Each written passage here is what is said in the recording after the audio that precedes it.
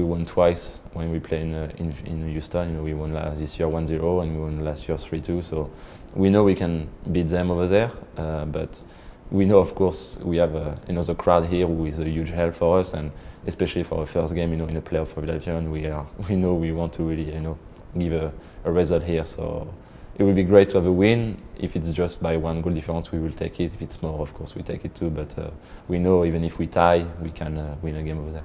Bueno, primero la expectativa es uh, la gente está preparando una, una, gran fiesta. Nosotros estamos muy contentos de, de poder eh, tener este primer juego para Filadelfia en, en los playoffs.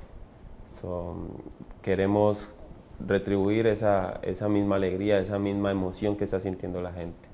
Creo que, que, que estamos para, para, para hacer más, más allá de, de, lo que pronto hecho hasta el momento. They are, I think, uh, more confident than when we play them during the year, and I'm sure they are, uh, you know, try to, to make a, a role and uh, try to, to beat us here. It will be huge for them. So I think, yeah, they, they will be maybe favorite on the paper for all the little things, you know, maybe people can see.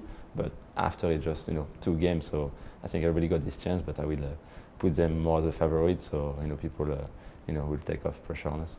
A lot of people say, "Oh, there's a lot of uh, inexperienced guys. There's a lot of young guys in the team." It, but there's a good and there's a bad to that. I mean, the good is, like you said, we, we it's almost like you know we don't we don't know. We don't, there's no pressure. You just go in and you play it like like like like any other any other big game.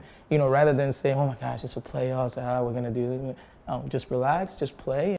No, creo que aquí no hay favoritos. Creo que ellos han hecho una buena campaña y nosotros también. Entonces, por ahí cualquiera de los dos tiene la oportunidad.